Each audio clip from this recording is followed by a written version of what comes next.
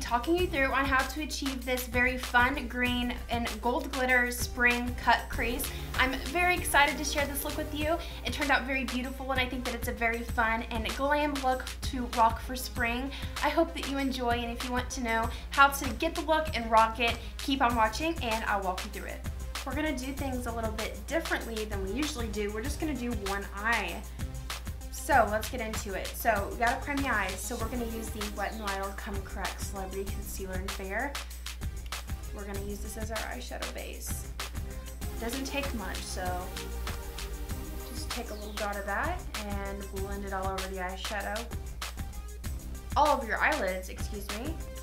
Since this concealer is really thick as well, I'm gonna go ahead and set it. You always wanna set it, no matter how thin your um, eyeshadow bases because it will crease. I'm taking Thrash from the Urban Decay Electric palette, very bright neon yellow, and with the Sigma E40, we're gonna blend this above our natural crease. So, my natural crease is right here, it's very low, so we're gonna blend a little bit above that. I'm gonna blend this back and forth in the crease. I'm just going back and forth until the eyeshadow is thoroughly blended and then you want to kind of wing it out with the brush. Taking the NYX individual eyeshadow in this shade Kush, I'm going to take a Sigma Angled Brow. This is the uh, E65 small angle. I'm going to take some of that eyeshadow and we're going to draw out where we want that crease line to be. So we've already done this eye. So you want to kind of, you want to mimic it and make sure that we can actually make the lines as even as possible still going a little bit over natural crease. You just want to draw that little shape there. I'm going to go over it a few times to define it. Next I'm taking a um, Real Techniques base eyeshadow brush I'm going to take a little bit of Kush. We don't want a lot. I'm going to go and blend out the edges of the shadow and just run it through the crease where we drew out our. Now I'm taking the Makeup Geek Single Shadow in the shade Dirty Martini and I'm going to use a, Sigma Small Angle E65 brush. And we're going to go over that same area where we applied Kush. We're just going into the darker colors. Taking the Real Techniques um, base eyeshadow brush, I'm taking a little bit of Dirty Martini, a very light amount, and we're gonna go ahead and blend out that line. You don't have to blend it completely, but to where it isn't as harsh.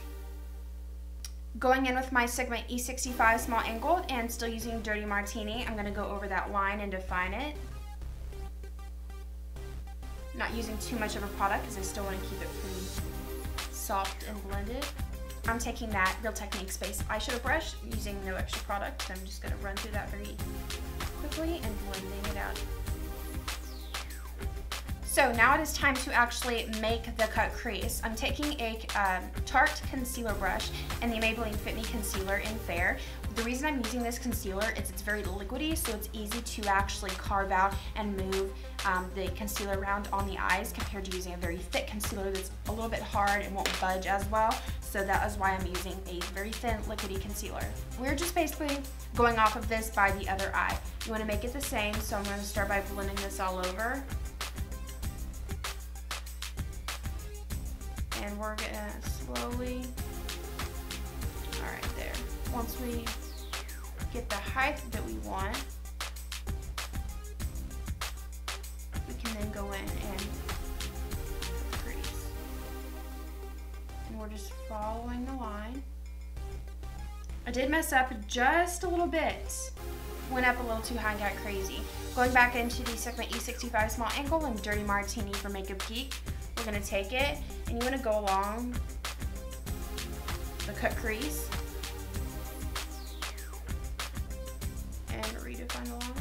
line. The Real Techniques uh, base eyeshadow brush and a little bit of Dirty Martini. I'm gonna go ahead and blend this dark line out. Now it's time for the really fun part, taking the NYX Glitter Primer and a Real Techniques little smudger brush. I'm going to take some of that product on there and we're going to pat it wherever the concealer is. Now I'm going to take some MAC Fix Plus and spray, the, spray it on the brush. And I'm going to take some NYX Face and Body Glitter in the shade Gold and we're going to apply it everywhere we applied the glitter primer.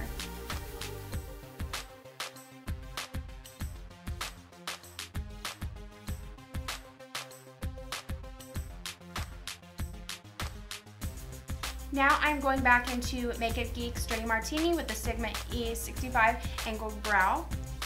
And I'm going to go and redefine that green line. The glitter somewhat kind of took that away, the definition of that crease line away, so I'm going back in.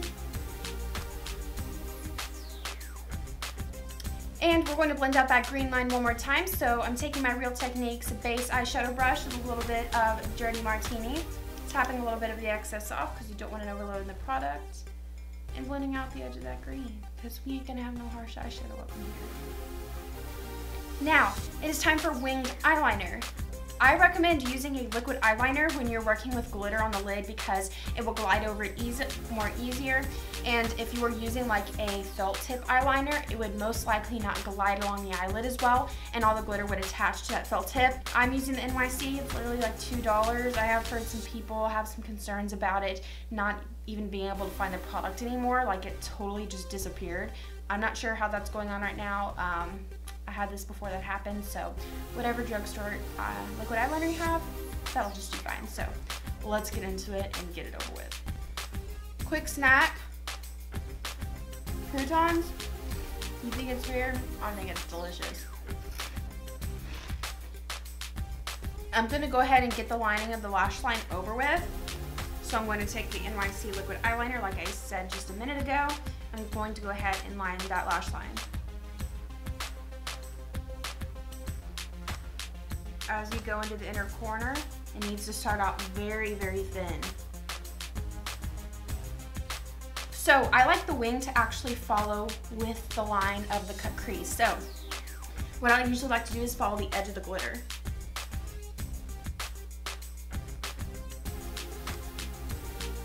All right, so I drew a line and I tapered the amount of pressure that I put as I got to the end of the line.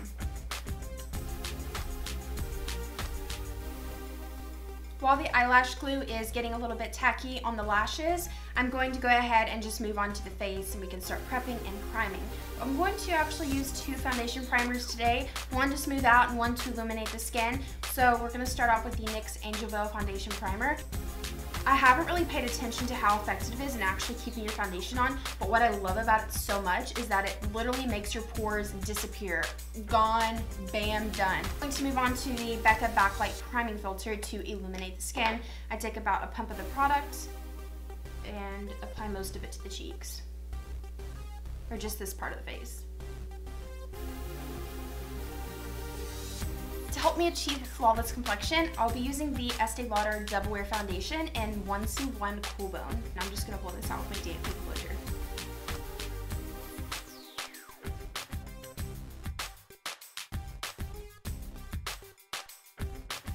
To cover up my under eye circles and to highlight the skin, I'll be using my Wet n Wild Come Correct Celebrity Concealer in the shade Fair.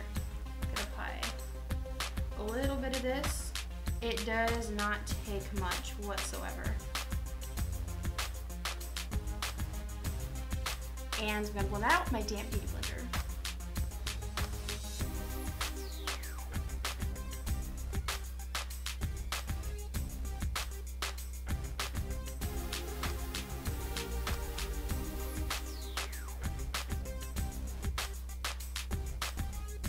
almost forgot about the lashes sitting over here and they are for sure a little bit tacky by now. I'll be using the uh, Kiss lashes. These are the faux mink lashes, the Lash Couture lashes, and this is in the style Gala. Gala.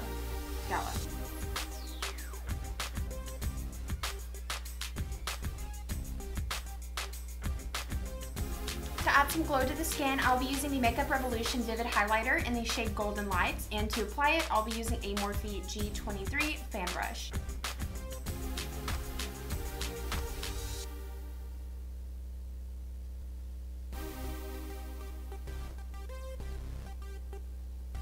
So my concealer doesn't crease, I'm going to set it and as always, I'm using the Airspun Translucent Base Powder and Translucent Extra Cover. I'm going to use a um, Sigma F25 tapered face brush. I'm going to take a little bit of that and lightly set the under eyes so that it doesn't crease. I'm going to add some warmth to the skin, so I'm going to apply the Chanel Soleil Universal Bronzer. I'm going to use a Sigma F40 Large Gold Contour to apply that.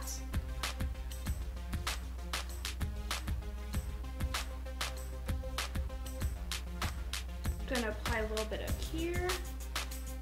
Whoa. Kinda got intense up there. I'm going to go in with my Lorac Pro Contour palette and using this light contour shade right here, I'm going to, what brush am I gonna use guys? What brush? I'm just actually gonna dust it across with a Japanese contouring highlighting brush from a Kimidori collection. We're not doing anything major any major contouring, but you just want to lightly set it so it doesn't slide around on your face through the day.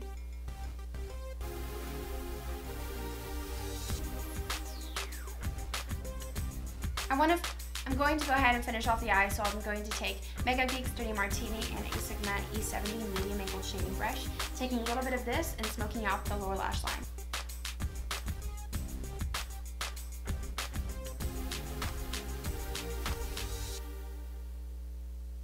I'm going to take that Makeup Revolution highlighter and I'm going to take my pinky finger and apply that in the inner corner. Now we do need to add some color to the face. I'm going in with my Tarte Amazonian Clay um, blush palette. This is the Color Wheel palette. And I'm going to take, I actually haven't decided yet, but there's so many colors to choose from. So what are we going to use today? Let's go ahead and use Iconic right here, this very pretty shade with a Real Techniques um, tapered blush brush. Take a little bit of that. Very pigmented blushes, so it doesn't take much. To blend the lashes together, I'm going to take my L'Oreal Telescopic Mascara. This is in Carbon Black. And I'm going to apply this on the upper lashes. Nothing too much. And I'm going to apply it on the bottom lashes as well. For the lips, I'm going to finish it off with the NYX Nude Lips Lip Kit. So this comes with a lip liner, um, it either comes like a lipstick or a soft matte lip cream, and then a lip gloss usually. Um, so for the lip liner, it comes with the NYX Wonder Pencil in the shade medium, so I'm going to line my lips with that.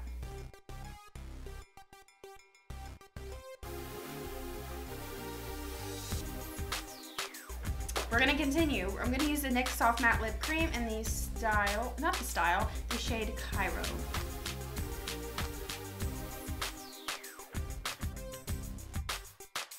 So like definitely if I didn't have a bold eye, this would like make me look sick.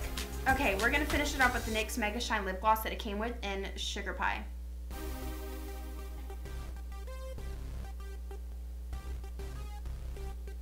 Um, so so we're gonna finish off the makeup with the Milani Make It Last Setting Spray. It is a three-in-one spray. It primes, corrects, and sets, but we're just gonna finish it off, finish our makeup off with it. So let's douse ourselves in this stuff. it smells so good and it's just very refreshing. And that completes it for this look. I hope that you enjoy. I love you all so much. Don't forget that you are fearfully and wonderfully made. You're beautiful, you're awesome. Jesus loves you and I love you. Hope you have an amazing day and I will talk to you in my next video. Bye!